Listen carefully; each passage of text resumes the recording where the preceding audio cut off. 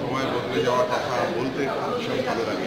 মনে হয় যেন একটা কোথাও থেকে নিজেরও বদলানোর সময় এসেছে বা কিছু এরকম খুব ওয়েল কম্পোজ একটি গান, ভীষণ ভালো সুর করা গান। আর এটা একটা ঘটনা যে রূপমের সাথে আমি সেরকমভাবে কোনোদিন ডুয়েট একসাথে কোনো গান কোনোদিন ছবি জন্য রেকর্ড করিনি। First time we are recording we have recorded তো এটা একটা নতুন জিনিস? গল্পটা এক- একটা কলেজের গ্রুপকে কেন্দ্র করে যার মধ্যে রাজনীতিও মিলবে। তার সাথে কি গানটা খুব এক মানে সম্পৃক্তভাবে ভীষণভাবে ভীষণ ভীষণভাবে সম্পর্ক এই গানটা একদমই একদম সিনেমা এই গানটা শুনলেই সিনেমাটাকে তুমি ফিল করতে পারো। এর যদি গানটা শোনা ছোট্ট ছেলেরা একটু অসন্তুষ্ট হয় তার উপরে। কিন্তু সেই ওইভাবেই আর কি। পলিটিক্যাল ইন্টারভেনশন হলে যেরকম অসুবিধেগুলো হয় ছেলেমেয়েরা তাদের নিজস্ব একটা ধ্যান ধারণা আছে, তার সঙ্গে ক্ল্যাশ করে এবং ultimately the the children have to compromise সেই সিচুয়েশনের সঙ্গে এবং আলটিমেটলি যেটা হয়, সেটা হচ্ছে যে ওরা যেটা ভাবে সেটা হয় না। আলটিমেটলি পলিটিক্যাল পার্টিগুলো যেরকমভাবে ভাবে সেরকমভাবে ইমপ্লিমেন্ট কিন্তু রিউনিয়নের ফলে তাদের একটা একটা দৃঢ় সংকল্প তৈরি হয়।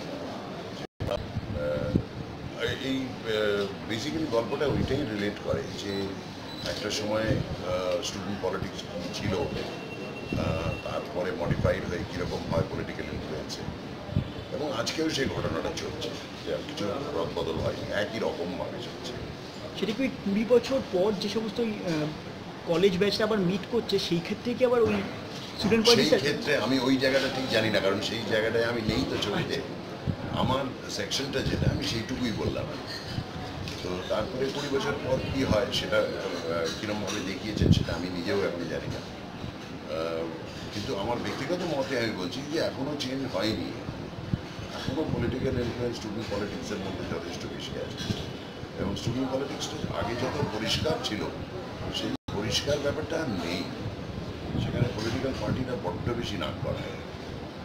তো আমি সেই জন্য বলব আমার চরিত্রটা এখানে একটু অ্যান্টাগনিস্টিক পরিচালক মুরারি এম লক্ষ্মীকে কেমন লাগল প্রথম ছবি? মুরারি রক্ষিত আহ, কে কীরকম লাগল সেটা বলা আমার সম্ভব হবে ছবিটা দেখলে। কিন্তু মেকিং প্রসেসের সময় উনি যেটা চাইছিলেন সেটার ব্যাপারে খুব দৃঢ় ছিলেন। এইটা চাই এইটা চাই, এরমভাবে চাই। কিন্তু ইমপ্লিমেন্টেশনটা কীরকম হচ্ছিল সেটার ব্যাপারে তো আমি ঠিক জানি না। কাজী কিন্তু অনেকেই ওকে হেল্প করেছে because is a was a first time film maker Kazi, সেই হিসেবে অনেকের হেল্প দরকার হয়েছে।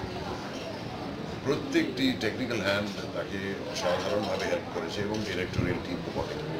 এমনকি আমরা যারা পারফর্মার আমরাও we try to in put in our to সেখানে পরম খুব হেল্প করেছে আই মাস্ট